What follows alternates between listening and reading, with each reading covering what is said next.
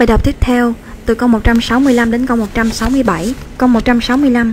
What will not be offered? Cái gì thì không có được uh, cung cấp tại cái event, cái sự kiện. Đây là dạng câu hỏi gì với em? Loại trừ ha. Đối với dạng câu hỏi loại trừ chúng ta đọc từng đáp án và dò từng đáp án. Câu A. Locally made drinks. Drinks là những cái thức uống nè. Thức uống được làm tại địa phương. Vậy từ khóa là từ nào vậy em? Uh, drinks, thức uống ha. Bây giờ chúng ta dò xem có chỗ nào nói về thức uống hay không. Rồi, dò từ đầu luôn nha. Dòng thứ nhất có không em? Không có phải không nào dòng thứ hai. Có thức uống không? Dòng thứ ba. Không có phải không nào dòng thứ tư. Cũng không có thức uống luôn dòng thứ năm. À có từ gì nè em? Beverage. Ok, beverage. Nếu bạn nào giải đề thường xuyên thì sẽ nhớ được từ này Beverage. Có nghĩa là thức uống nè Đồ uống, thức uống ha. Vậy Vậy thì có đồ uống, thức uống từ địa phương không? Chúng ta dịch thử câu này nha, nó nói là gì đây? Từ đầu luôn, từ đầu câu này là từ gì ha? Từ chỗ mà uh, the main event không nào cái sự kiện chính á, sẽ được theo sau. Bởi một cái buổi chiều memory uh, merriment cái gì đó form nào? Uh, tại uh, cái sân tên là gì nè? Rồi cái nơi mà locals những người địa phương và visitors là du khách á, alike cùng với nhau có thể enjoy thưởng thức được những cái food là món ăn ngon nè.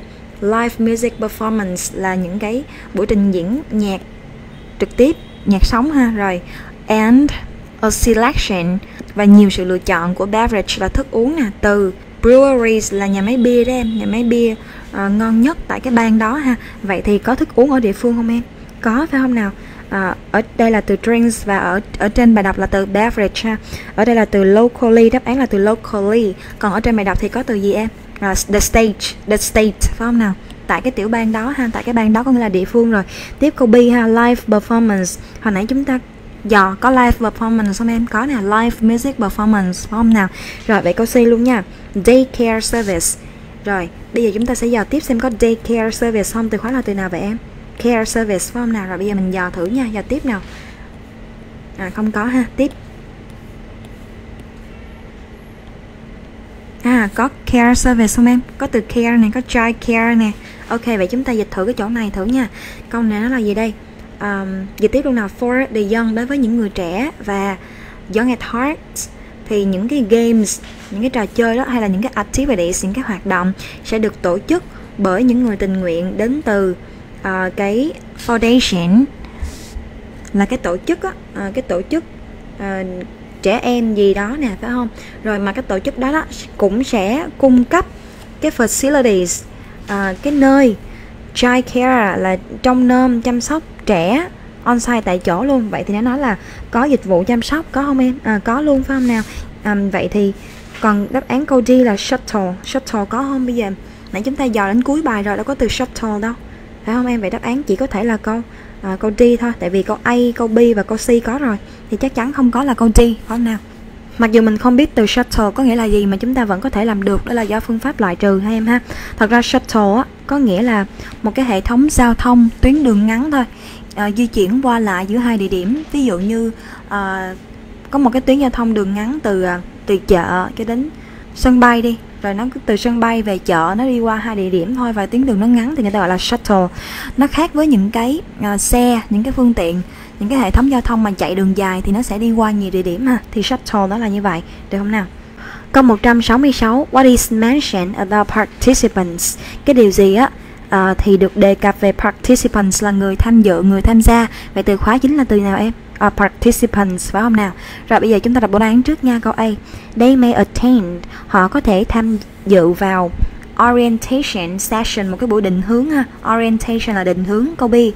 They will each receive. Mỗi người trong số họ đó em. Each nè, mỗi người trong số họ receive, nhận được một cái item, một cái món đồ complimentary là miễn phí ha. Mỗi người trong số họ sẽ nhận được một cái món đồ miễn phí, một cái món quà miễn phí. Được không nào? Rồi câu C. They must, họ phải submit nộp một cái form registration đăng ký online. Câu D họ sẽ cần phải mặc uh, áo thun cho cái uh, cuộc thi cuộc cuộc đua được không nào race ha. Rồi bị bây giờ chúng ta sẽ dò xem xem chỗ nào có từ khóa về participants. Chúng ta sẽ dò tiếp cái đoạn lúc nãy chúng ta đã ngừng ha. Vậy mình sẽ xuống cái khung cái khung là từ chỗ là to join nè. Rồi em dò đi xem chỗ nào có từ participant. Đây có từ participation nè phải không? Nhưng nó nói về gì vậy em? Nó nói về chi phí ha. Chỗ này ở đây nói về chi phí 10 đô cho mỗi cá nhân và 5 đô cho những ai à, tham gia vào cái sự kiện nhóm. Phải không nào? À, đang nói về phí tham gia thôi ha. Thì chúng ta giờ tiếp nè. Cash prizes à, phần quà phần thưởng về tiền mặt á, sẽ được trao cho những cá nhân hoặc những cái nhóm mà hoàn tất à, cái chặng đua trước tiên nên đầu tiên ha. Cũng chưa có đáp án luôn. Rồi tiếp nào. Others những người khác á, mà à, hoàn tất trong cái top 10 đó thì sẽ nhận được cái gift vouchers từ doanh nghiệp địa phương ở dưới này có nói gì đến những người trong top 10 thì nhận được gift voucher xong em cũng không có phải không? Đáp án không có thì chúng ta vào tiếp nha. On participants. Đây có từ participants nè em. Rất là giống với từ khóa của mình ở dưới câu hỏi luôn ha. Và chúng ta dịch thử thêm là tất cả những người tham gia đó sẽ nhận được một cái áo thun commemorative. Ok, mặc dù mình không biết cái từ commemorative là gì nhưng mà mình biết ý câu này là gì. Tất cả những người nào mà tham gia đều nhận được một cái áo thun hết. Vậy thì em nhìn xuống đây coi. À, đáp án là câu nào ha? Áo thun là câu đi nè phải không? Nhưng mà câu đi nó nói là họ sẽ cần phải mặc áo thun ở trong cái trận đấu. Đây người ta đâu có nói là phải mặc áo thun trong trận đấu đâu. Người ta nói là cứ tham gia thì sẽ được được à, được được sẽ nhận được cái áo thun mà phải không? Để em đọc lại cái câu A à, tham gia buổi định hướng hồi nãy chúng ta giờ không có nè mỗi người trong số họ sẽ nhận được cùng một cái món quà miễn phí phải không em à, phải nè chỗ này là they each receive. Mỗi người trong số họ còn trên này nó nói gì đây? All participant will receive. Tất cả mọi người trong số họ sẽ nhận được cái áo thun. Còn câu B là mỗi người trong số họ sẽ nhận được một món quà miễn phí. Rất đúng phải không nào còn câu C là họ phải điền vào form đăng ký online mình cũng đâu có thấy đề cập đến đâu về đáp án chắc chắn là câu gì em? À, câu B ha. Thật ra cái từ commemorative uh, có nghĩa là kỷ niệm đó. Tất cả những người tham dự sẽ nhận được một cái áo thun kỷ niệm hay ha commemorative được không nào mặc dù người ta không có nói là nó có miễn phí hay không nhưng mà tất cả những người tham gia đều nhận được thì có nghĩa là miễn phí rồi ha chỗ này complimentary nè em miễn phí nè câu 167 According to the notice, theo như cái thông báo đó thì ai nên liên hệ với bà butcher Vậy theo em từ khóa là từ nào? À, Miss butcher phải không nào? Rồi, Bây giờ chúng ta đọc đáp án trước nha. Câu A raise volunteers à, những người tình nguyện trong cuộc đua đó. Câu B tourists à, du khách đến tham quan. Câu si, vendors những người bán dạo, bán hàng rong ha. Prospective tiềm năng là trong tương lai. Câu uh, ờ, organizers người tổ chức nhóm. Ok. Rồi bây giờ chúng ta sẽ dò xem Miss Boucher nằm ở đâu ha. Dò cái tên. Rồi đây phải không em? Nè, ở cuối cùng luôn có từ Rachel Boucher. Ok.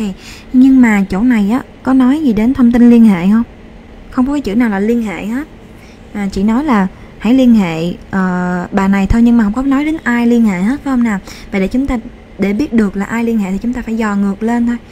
Rồi bây giờ mình dò xem chỗ nào nói về liên hệ nha. Dò tiếp cái chỗ lúc nãy chúng ta dừng lại ở đây nè. Dò tiếp đoạn này ha. Rồi có không em? À có từ contact nè phải không? Mà chúng ta dịch câu này nè. If you would like nếu mà bạn muốn tổ chức một cái đội uh, cho cái doanh nghiệp của bạn này nè hay là gia đình nè một cái đội một cái nhóm cho doanh nghiệp gia đình hay là trường học hay là những cái nhóm khác á, thì hãy liên hệ với coordinator của cái chương trình trước ngày 16 tháng 4 rồi mà em xem xem coordinator của chương trình á là ai? À có phải là bà Rachel Boucher không? Nè đây là chức vụ của bà ta nè em. Chức vụ của bà ta là program coordinator nè. Vậy thì ai sẽ liên hệ với với bà Boucher vậy em? À chính là những người mà muốn organize a team phải không nào? Vậy thì theo em A B C đáp án là câu nào à, câu đi phải không nào những người tổ chức nhóm ha rồi bây giờ cùng hệ thống là những từ quan trọng được highlight trong bài này cùng với cô em nha. Cùng dịch từ đầu nào. The Watertown Recreation Committee. Mình có từ committee á, có nghĩa là ủy ban. Từ này cũng hay gặp lắm em. Ủy ban ha, committee. Rồi recreation có nghĩa là vui chơi hay là giải trí á. Mang tính giải trí ha rồi nhưng mà mình có cái từ là recreation center đấy em center ha recreation center thì có nghĩa là trung tâm văn hóa. Thì một cái trung tâm văn hóa của một vùng nó sẽ lo về những cái mặt mà à, vui chơi giải trí những cái hoạt động cho cái cái vùng đó phải không nào? Cho nên cô tạm dịch là ủy ban về mặt giải trí ủy ban của trung tâm văn hóa ha. Ở cái vùng là Watertown đó um, đã invite mời bạn join tham gia vào. Tham gia vào cái gì ha? Challenge. Mình có từ challenge có nghĩa là thách thức hay là thử thách đem challenge thách thức hay là thử thách ha? Tham gia vào cái uh, thử thách walking đi bộ ở cái Rock River. Uh, dòng sông rock annual là hàng năm fourth là lần thứ tư này em. Có nghĩa là cái thử thách đi bộ này là, là lần thứ tư và nó diễn ra vào hàng năm annual hàng năm em ha? Rồi um, cái thử thách này sẽ diễn ra vào Saturday là thứ bảy là ngày 16 tháng 4 từ 9 giờ sáng cho đến 1 giờ chiều. Each year mỗi năm đó thì cái race race có nghĩa là cuộc đua đây, cuộc đua ha? Cuộc đua cuộc thi á cuộc thi đua cuộc đua. Thì mỗi năm á, cái cuộc đua này nè à, sẽ được organize được tổ chức bởi thành phố Watertown như là một cái cách để mà promote. Em còn nhớ từ promote có mấy nghĩa không? Promote có ba nghĩa. Thúc đẩy quảng cáo và khuyến mãi. Chỗ này có nghĩa là thúc đẩy là đẩy mạnh đấy em? Thúc đẩy ha. Cô nói lại promote có ba nghĩa ha. Thúc đẩy quảng cáo hoặc là khuyến mãi. Thì quảng cáo và khuyến mãi thường dùng trong lĩnh vực à, hàng hóa đây nhưng chỗ này thì có nghĩa là thúc đẩy ha à, thúc đẩy hoặc là đẩy mạnh. Như là một cái cách để mà thúc đẩy cái cooperation. Mình có từ cooperation á có nghĩa là sự hợp tác. Cooperation sự hợp tác ha. Nhưng mà chỗ này mình dịch là cái sự gắn kết được không nào? Sự gắn kết. Để mà thúc đẩy cái sự gắn kết community của cộng đồng ha. And to celebrate. Mình có từ celebrate là tổ chức để mà chúc mừng hay là tổ chức để kỷ niệm á và để tổ chức uh, kỷ niệm heritage. Mình có từ heritage có nghĩa là di sản em ha? Di sản. Để mà tổ chức kỷ niệm uh, cái di sản của Watertown open to people được mở ra cho tất cả mọi người ở mọi độ tuổi luôn all ages. The event cái sự kiện đó thì promise. Promise động từ đó em có nghĩa là hứa hẹn ha hứa hẹn. À, cái sự kiện này nè sẽ hứa hẹn một ngày rất là fun là vui đó. In great outdoors mình có từ outdoors là ở ngoài trời. Mà in the great outdoors có nghĩa là ở ngoài trời nhưng mà ở những cái nơi mà nó xa thành phố đem nó gần của phía thiên nhiên á, thì người ta gọi là in the great outdoors. Ví dụ như là ở countryside được không nào? Cô tạm dịch là ngoài trời xa thành phố ha. À, hứa hẹn một ngày rất là vui ở cái vùng à, xa thành phố và hoạt hoạt động ngoài trời ha. The main event cái sự kiện chính á, thì sẽ được theo sau bởi một cái buổi chiều có nghĩa là sau khi xong cái sự kiện chính rồi thì buổi chiều sẽ có merriment. Ok merriment là danh từ của danh từ ha của từ merry merry là tính từ á. Em thấy từ này quen không? À, chúng ta thường thấy trong cái từ là Merry Christmas Giáng sinh vui vẻ đó em. Vậy thì cái từ merriment là danh từ có nghĩa là sự vui vẻ sự vui chơi ha. Sự vui vẻ sự vui chơi. Quy lại chỗ này nè. Um, cái sự kiện chính sẽ được theo sau bởi uh, một cái buổi chiều uh, vui chơi tại tại cái gì? Tại Crowns là một cái sân nè em. Uh, sân chơi của lễ hội tên là uh, Jefferson County Festival Crowds được không nào? Where? Mà nơi đó đó thì locals là những người dân địa phương đó em. Và visitors là uh, những người uh, khách đến tham quan đó alike. Cái từ alike cũng khá là hay. Từ alike có nghĩa là đều như nhau hay là tương tự như nhau đều như nhau tương tự như nhau. Chỗ này có nghĩa là ở nơi đó đó thì cả những người dân địa phương và những người khách du lịch đến thì đều có thể enjoy thưởng thức được uh, những cái thức ăn ngon nè em.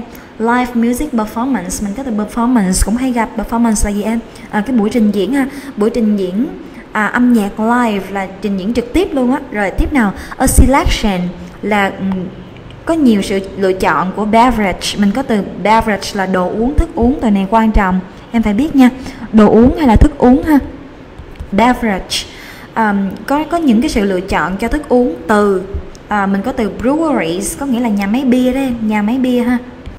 À, nhà máy bia finest ngon nhất uh, của cái cái bang này state là cái bang đó em.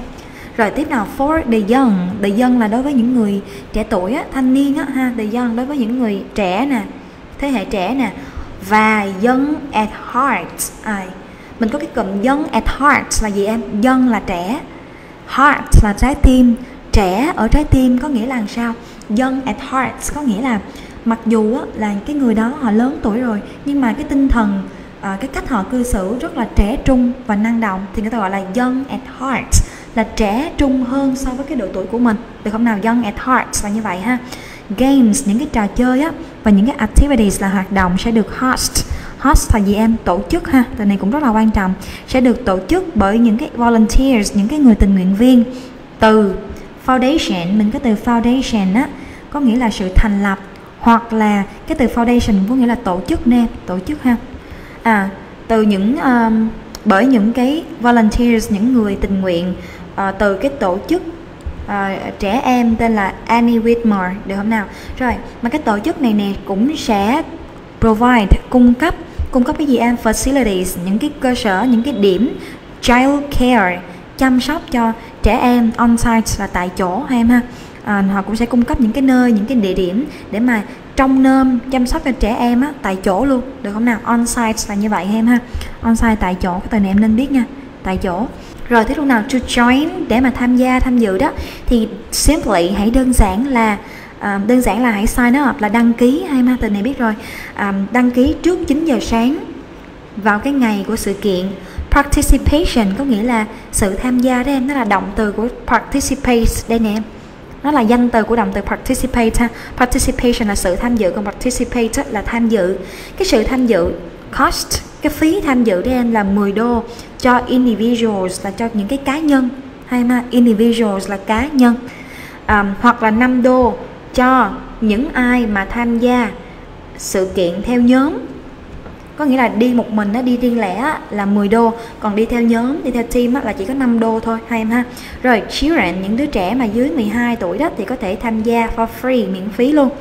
Cash prizes à, những cái phần thưởng bằng tiền mặt đó. Prizes là phần thưởng nè phần quà phần thưởng ha. Cash là tiền mặt.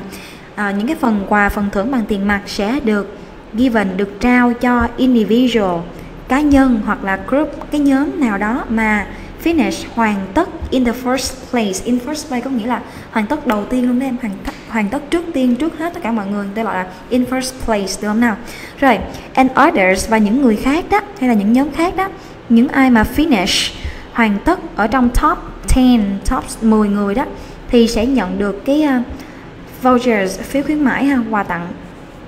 Phiếu khuyến uh, phiếu khuyến mãi quà tặng phiếu quà tặng từ um, local business những cái doanh nghiệp địa phương. All participants những vị những người tham dự đó sẽ receive nhận được một cái áo thun. À, mình có từ commemorative. Commemorative có nghĩa là để làm kỷ niệm ha để làm kỷ niệm. Họ sẽ nhận được một cái áo thun để làm kỷ niệm được không nào. Commemorative. Tiếp if you would like nếu bạn muốn nó organize tổ chức uh, một cái team một cái đội à, dành cho doanh nghiệp của bạn nè gia đình của bạn nè trường học của bạn nè hoặc là cái nhóm khác á, thì vui lòng hãy liên hệ với coordinator mình có từ coordinator có nghĩa là điều phối viên hay ma điều phối viên. Thì hãy liên hệ với điều phối viên của cái chương trình trước ngày 16 tháng 4 A Walking Challenge Support Kit à, có nghĩa là những cái trang bị hỗ trợ cho cái thử thách này đó ha. Support kit là trang bị hỗ trợ hỗ trợ đó em.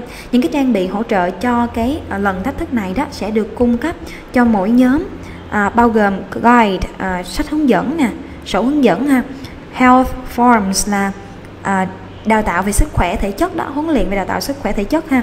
And handouts là những cái tài liệu đó em những cái tài liệu. Mà những cái đó thì bạn có thể distribute là phân phát hay em ha distribute phân phát. Mà những cái đó, đó thì bạn có thể phân phát cho thành viên trong nhóm của bạn được không nào? Rồi ở dưới contact là thông tin liên hệ hay em ha. Rachel Boucher là coordinator là gì em? Điều phối viên chương trình ha đây là email của bà ấy. Rồi bên này nào? Special thanks à, cảm ơn đặc biệt đến our sponsors. Mình có từ sponsors. Cũng rất hay gặp em sponsors. Có nghĩa là nhà tài trợ ha em ha? Nhà tài trợ. Sponsor nhà tài trợ. Cảm ơn những cái nhà tài trợ của chúng tôi. Thì đây là tên của những nhà tài trợ được không nào? Rồi xuống dưới luôn em nha. Ở cái phần câu hỏi có một số cái từ quan trọng nè. Có 165 có từ shuttle. Có nói lại shuttle là à, cái hệ thống à, giao thông di chuyển những cái tuyến đường ngắn thôi. Giữa hai nơi ha. Thì người ta gọi là shuttle nó không có đi đường dài mà dừng ở nhiều nơi. Ok đi đường ngắn thôi. À, chủ yếu là hai nơi qua lại hai nơi đó ha thì gọi là shuttle. Ok, 166 câu A mình có từ orientation Có nghĩa là sự định hướng nha Sự định hướng nha Orientation, sự định hướng. Câu A có nghĩa là họ có thể tham dự một cái buổi định hướng ha. Câu B mình có từ complimentary, Có nghĩa là miễn phí, nó bằng với từ free đấy em. Nhưng mà cái từ complimentary thì dùng cho cái ngữ cảnh nó trang trọng ha, Complimentary. Câu B có nghĩa là mỗi người trong số họ sẽ nhận được một cái món đồ miễn phí, Được không nào? Rồi câu C, mình có từ registration, có nghĩa là sự đăng ký hay mà sự đăng ký hay là việc đăng ký. Và mình có từ registration form là cái form đăng ký. Câu C có nghĩa là họ phải nộp một cái form đăng ký online, được không nào? Tiếp câu 167 mình có câu C có từ vendors là người bán hàng dạo đấy người bán dạo người bán rong á ha. Người bán hàng dạo người bán hàng rong á người ta gọi là vendors người bán hàng. Prospective có nghĩa là tiềm năng hoặc là trong tương lai ha. Tiềm năng hoặc là cái gì đó trong tương lai. Vậy uh, cô si cô dịch là những cái người bán dạo những cái người bán hàng rong trong tương lai hay là uh, tiềm năng hay na? Câu 168 đến câu 171 câu 168 What is the topic? Of the article. À, cái chủ đề của cái bài báo này là gì? Đối với dạng câu hỏi này chúng ta đọc bốn đáp án trước sau đó đọc đoạn đầu ha đoạn cuối ha. Bởi vì chủ đề của bài báo chính là mục đích của bài báo phải không nào? Đọc, đọc câu A trước nhanh nha. The property development project. Project là dự án nè. Development phát triển. Property là có nghĩa là bất động sản ha. Bất động sản thì có thể là phòng ốc nè đất đai nè nhà cửa nè hay là cái tòa nhà nào đó được không nào? Vậy câu A có nghĩa là một cái dự án phát triển một cái loại hình bất động sản nào đó ha. Rồi câu B một cái decline mình có từ decline nè có nghĩa là một cái sự suy giảm một cái sự giảm sút của thành phố trong construction là gì em? À, việc xây dựng ha. Câu C a retail branch closure closure là gì em? Sự đóng cửa của một cái chi nhánh bán lẻ phải không nào? Rồi câu D một cái increase sự gia tăng ở trong à, cái à, giá thuê phòng ở địa phương phải không nào? Rồi bây giờ chúng ta sẽ đọc đoạn đầu để xem xem. Cái bài báo này nói về cái gì nha? À rồi bây giờ nó có cái tiêu đề nè thường thì em sẽ mình đọc tiêu đề trước nha. There may be hope. À, có lẽ là sẽ có hy vọng cho cho gì em? Retailers những nhà bán lẻ nhỏ ở địa phương after all sau tất cả ha. Sau tất cả thì có lẽ là sẽ có hy vọng dành cho những nhà bán lẻ nhỏ ở địa phương. Rồi tiếp nào Bài báo này được viết bởi ông này ha. Rồi. In the highly competitive world of retail sales, ở trong một cái thế giới bán lẻ có tính cạnh tranh cao phải không nào thì rất là difficult khó khăn cho những cái entrepreneurs là gì em còn nhớ không doanh nhân ha cho những cái doanh nhân mà chưa có kinh nghiệm nè em inexperienced để mà turn a profit là kiếm lợi nhuận khi mà cái chi phí thuê uh, cái cửa hàng hay là cái shop cái store hay là cái shop á thì nó quá là cao. Ok khi mà dịch đến đây á, thì có thể là rất có bạn sẽ có nhiều bạn nó sẽ đánh câu đi bởi vì câu đi nó là có một cái sự gia tăng trong giá thuê. Nhưng mà chỗ này nó mới nói là uh, giá thuê á, là cao thôi. À, chứ đâu có nói là chi phí thuê là cao chứ nó không có nói là chi phí thuê tăng. Cho nên phải cẩn thận ha mình đọc tiếp thử xem. But nhưng mà regional retailers những nhà bán lẻ của địa phương à, không cần phải tìm kiếm uh, xa xôi ở đâu cả. Mà có cái chỗ nào này em những cái tòa co-op người ta thường gọi là tòa co-op á. Ờ, uh, Benford Retail.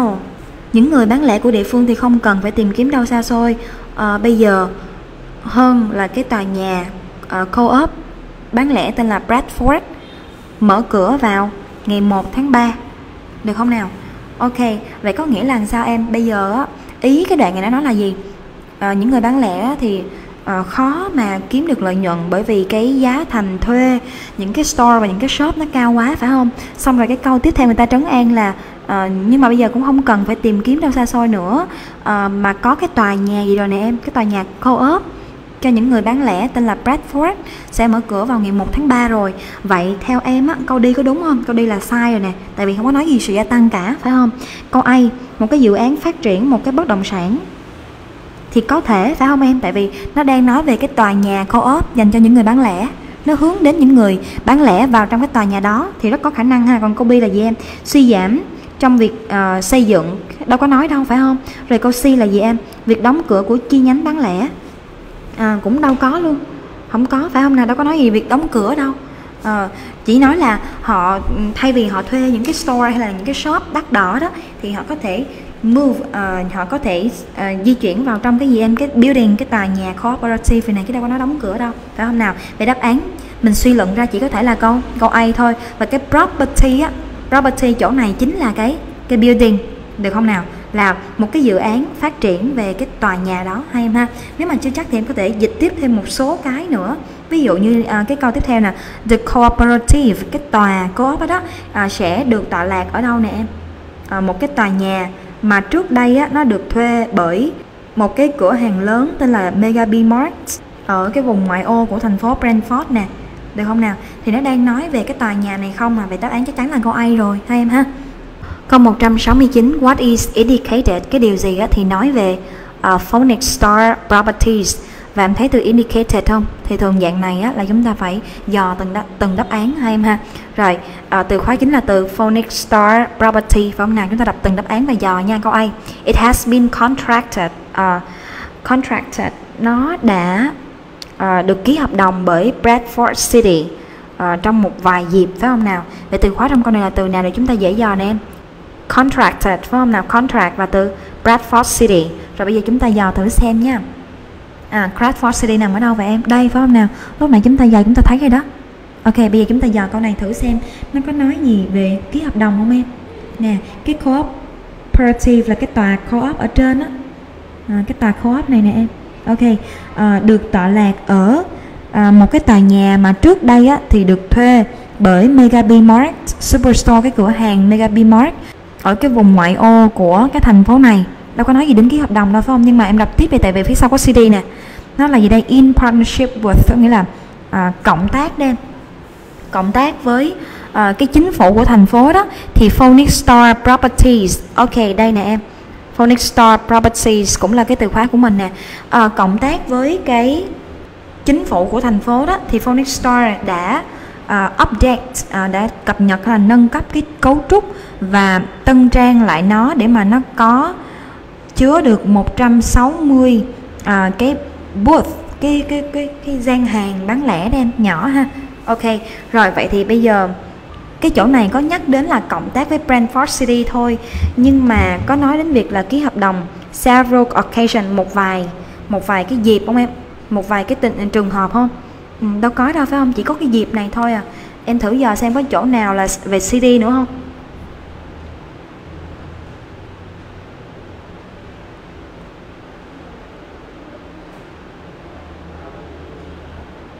Đoạn này thì xem em.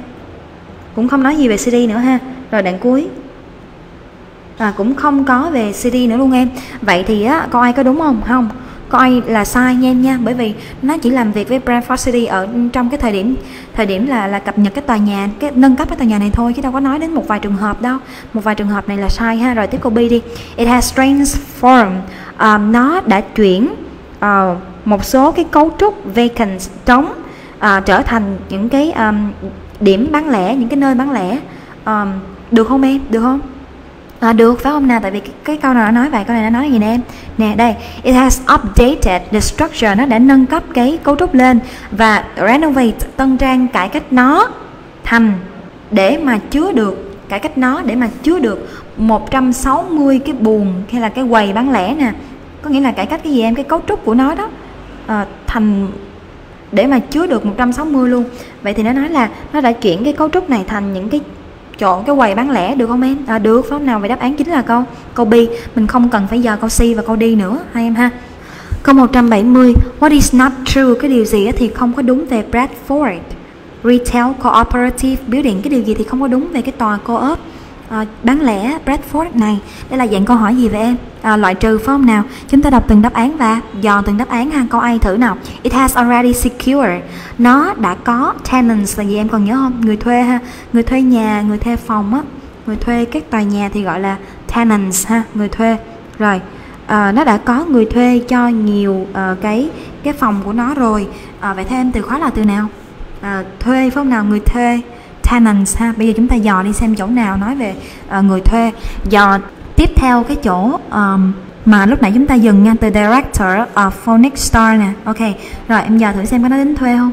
Không có phong nào dòng tiếp theo. Cũng không có nói đến thuê luôn dòng tiếp theo. Cũng không có luôn. Cũng không có thuê luôn ha. Rồi cũng không có luôn. Rồi cũng không nói đến thuê luôn. Tiếp đoạn tiếp theo nào. Phonic star properties provided half of the funds cũng không có thuê luôn.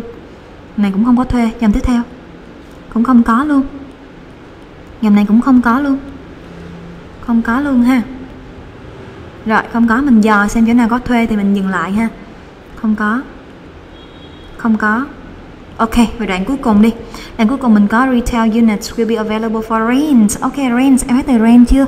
Rent là gì vậy em? Thuê đó. Vậy thì chúng ta đọc câu này thử nha à, cái phòng cái quầy bán lẻ đem cái phòng mà để bán lẻ đó sẽ có sẵn để mà cho thuê cho artisans. Là ai, ai em không biết thì em cứ để đó ha. Craftsman là những người làm nghề thủ công nè mình có từ craft là thủ công đó. Rồi private business owners là chủ doanh nghiệp tư nhân ha. Rồi nó có sẵn để mà cho những người như là người thợ thủ công nè rồi chủ doanh nghiệp tư nhân nhỏ à, từ cái vùng này để thuê. À, cũng chưa nói gì đến việc là nó đã có người thuê rồi phải không? Em đọc thử tiếp coi. With rental rates với cái giá thuê á uh, khởi điểm uh, thấp là 500 đô cho mỗi tháng thì Phoenix Star đã xác nhận rằng có 90% uh, ờ, cái khoảng không gian đã được lấp đầy rồi. Em ơi 90% cái khoảng không gian cái khu vực đã được lấp đầy rồi có nghĩa là đã có nhiều người thuê rồi phải không em? Vậy câu A đúng không? Câu A đúng ha? Vậy chúng ta giờ tiếp câu B nè. Câu B it will house nó sẽ chứa ẩm từ house là chứa em còn nhớ không? Nó sẽ chứa nhiều cái doanh nghiệp nhỏ. Ủa đúng không em? Đúng phải không? Nào lúc nãy chúng ta có dịch câu gì nè? Nè um, the rental uh, the, rate, the retail units uh, will be available sẽ cho thuê cho ai nào? Artisans craftsmen và business owners nữa nè à, có nhiều doanh nghiệp nhỏ không? Có ha vậy câu B đúng luôn. Rồi tới câu C nào. It will be rented nó sẽ được thuê bởi chính phủ của thành phố. Em ơi lúc nãy chúng ta đọc cái câu được câu thuê là câu này luôn nè phải không em? Nó có nói là cho cho cho chính phủ thành phố thuê không? Đâu có đâu phải không nào? Vậy đáp án đó có thể là câu C bây giờ nếu mình chắc hơn á, thì chúng ta đọc câu đi nha. Nè it is partially. Nó thì được một phần á, là được um, finance cung cấp tài chính hỗ trợ tài chính bởi à, cái thuế ở địa phương ha. Có nghĩa là nó một phần thì à, thu được cái à, kinh phí đây à, được hỗ trợ kinh phí từ cái cái tax là cái thuế địa phương. Vậy bây giờ từ khóa là từ nào ha? Từ tax form em. Bây giờ chúng ta dò đi xem chỗ nào nói về tax ha. Bây giờ mình dò ngược lên đi em. Đoạn số 2 coi có hay không? Đoạn số 2 nè dò lại nha coi có tax không? Đây nè em có từ tax nè phải không nào? Thì chúng ta đọc lại cái câu có từ tax thử nha. Đây Phoenix Star Property cái công ty bất động sản đó em. Phoenix Star đó à, đã cung cấp một nửa cái hỗ trợ cái tiền phí hỗ trợ ha cái tiền hỗ trợ cho à, cái việc thay đổi cấu trúc. Và the rest là gì em? Cái phần còn lại đó thì đến từ à, cái ngân sách nè phát triển của thành phố. Mà cái đó thì nó được à, funded nó được hỗ trợ bởi à, cái thuế của địa phương. Vậy thì em ơi câu đi nói là cái à, cái tòa nhà này nè thì được à, hỗ trợ tài chính một phần bởi thuế địa phương đúng không? Đúng luôn ha. Vậy đáp án chỉ có thể là câu gì thôi? Câu C được không nào? À, nó được thuê bởi chính phủ thành phố không có nhắc đến nha em nha. Câu 171 In which opposition Cái vị trí nào á? 1, 2, 3, 4 Thì cái câu sau đây thuộc về đối với dạng này chúng ta.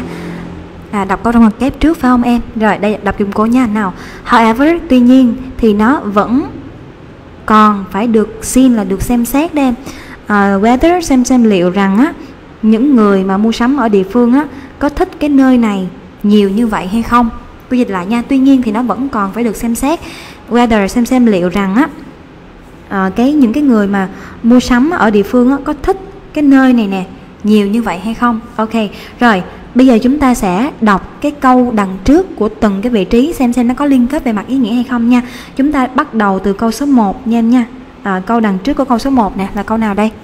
Liền trước luôn but phải không nào? But regional retailers nhưng mà những người bán lẻ địa phương á, thì không cần phải tìm kiếm đâu xa xôi uh, hơn là cái tòa nhà bán lẻ ờ, uh, Renfrost này nữa sẽ mở cửa vào ngày 1 tháng 3 rồi xong rồi. However, tuy nhiên nó cần phải được xem xét xem xem liệu rằng người mua sắm địa phương có thích hay không nó đâu có liên kết đâu phải không em? Bây giờ chúng ta dịch tiếp cái vị trí vị trí số 2 nha vị trí số 2 đây rồi dịch cái câu liền trước luôn nào. Liền trước là từ cái director phải không? Dịch lại nhanh thôi nha. Giám đốc của Phoenix Star đó tên là Brandon Nixon đã nói the old structure cái cấu trúc cũ á, là một cái eyesore là cái gì đó phải không nào?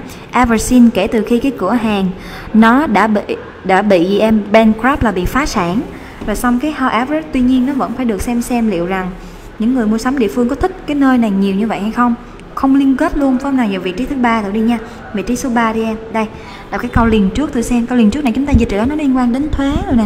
Dịch lại lần nữa nha.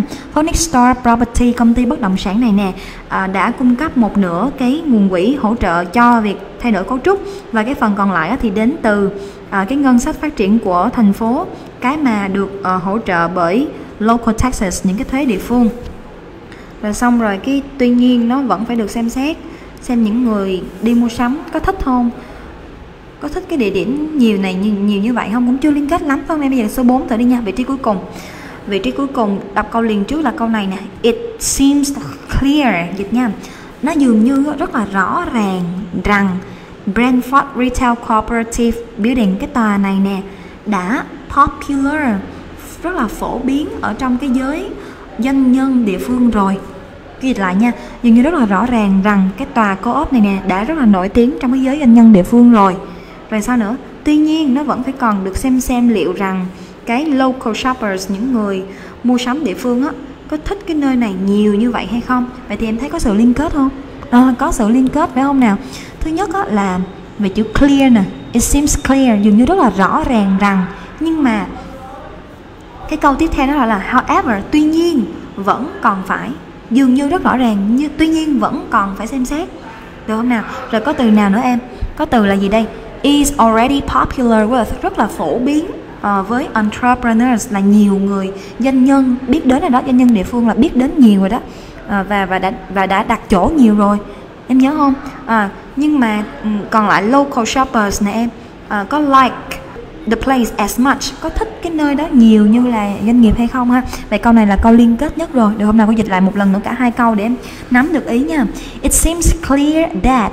Dường như rất là rõ ràng rằng uh, cái cái tòa co-op này nè à, đã rất là nổi tiếng phổ biến ở trong cái giới doanh doanh nhân địa phương rồi. À, tuy nhiên nó vẫn còn phải được xem xem liệu rằng á cái à, những người à, mua sắm ở địa phương đó em à, có thích cái nơi này là thích cái tòa nhà đó là cái building đó ha? Nhiều như vậy hay không ha? Vậy đáp án chính là câu câu đi được không nào? Và bây giờ chúng ta cùng hệ thống lại những từ quan trọng trong bài này các em nha. Cùng dịch với cô nào? There may be hope. Có lẽ là có hy vọng dành cho những cái retailers là những cái nhà bán lẻ, những cái người bán lẻ đó em. Ờ, ở địa phương nhỏ có nghĩa là những người bán lẻ nhỏ ở địa phương á ha. After all sau tất cả cái dịch lại nha. Sau tất cả nè thì uh, có lẽ là đã có hy vọng dành cho những cái người bán lẻ nhỏ ở cái vùng hay là ở địa phương ha. Bài báo này được viết bởi Doris Bentley tiếp luôn nào. In the highly competitive world trong một cái thế giới có tính cạnh tranh cao đó em. Competitive có nghĩa là có tính cạnh tranh ha. Trong một cái thế giới có tính cạnh tranh highly là cao của cái việc bán lẻ đó thì it is difficult uh, rất là khó để mà cho những cái entrepreneurs mình có từ entrepreneurs có nghĩa là doanh nhân hay em ha. Rất là khó cho những cái doanh nhân inexperienced chưa có kinh nghiệm. Mình có từ experience là có kinh nghiệm, thêm tiền tố in, là tiền tố phủ định vào, có nghĩa là chưa có kinh nghiệm ha. Để mà turn a profit, mình có từ profit là lợi nhuận, và cụm turn a profit có nghĩa là kiếm được lợi nhuận ha. Nó sẽ bằng với cái cụm là earn a profit, cũng là kiếm được lợi nhuận luôn. Mình có từ earn là kiếm em thì thì nhớ giùm cô ha, turn a profit bằng với earn a profit có nghĩa là kiếm được lợi nhuận. Rất là khó cho những doanh nhân những người mình chưa có kinh nghiệm kiếm được lợi nhuận khi mà the cost of renting cái giá thuê uh, của một cái cửa hàng hay là một cái shop á, thì nó quá là cao phải không nào tiếp? Nhưng retailers những người bán lẻ ở trong vùng á don't need không cần phải look any further now than.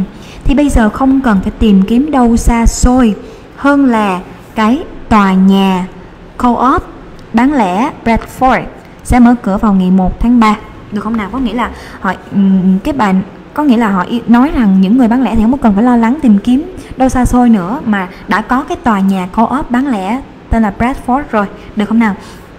The cooperative cái tòa nhà co-op này nè em à, thì được locate được tọa lạc ở um, một cái building một cái tòa nhà mà formerly mình có từ formerly có nghĩa là trước đây ha formerly là trước đây ha được tọa lạc trong một cái tòa nhà mà trước đây nó được occupy occupy trong lĩnh vực bất động sản thì có nghĩa là thuê ha em ha. Thì nó đã được thuê bởi um, superstore một cái uh, cửa hàng lớn một cái siêu thị đó em Mega B Mart on the outskirts. Mình có từ outskirts có nghĩa là vùng ngoại ô đấy ha, ngoại ô. À, ở cái vùng ngoại ô của thành phố Brentford thế lúc nào in partnership with có nghĩa là cộng tác với ai em ha? In partnership with um, cộng tác với chính phủ của thành phố đó. Thì Phoenix Star Properties là tên của một công ty bất động sản đây properties là bất động sản ha. À, cái công ty bất động sản Phoenix Star đã update đã cập nhật lại đã làm mới lại cái structure cái cấu trúc của tòa nhà. Và renovate mình có từ renovate có nghĩa là gì em? À, tân trang cải cách em còn nhớ không? Và tân trang cải cách nó để mà nó chứa được. Động từ house. Động từ house là chứa em nhớ không? Để mà chứa được 160 cái booth. Booth là một cái quầy một cái phòng nhỏ một cái gian hàng ở đây một cái phòng nhỏ một cái buồng nhỏ người ta gọi là booth ha. Để mà chứa được uh, 160 uh, cái phòng nhỏ bán lẻ được không nào?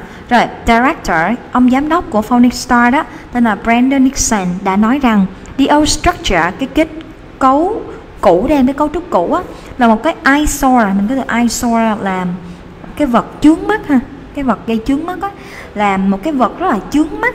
À, bởi vì à, nó đã bị nè em when bankrupt là bị phá sản em ha mình có cái cụm là when bankrupt phá sản. Bởi vì nó là bị phá sản được không nào?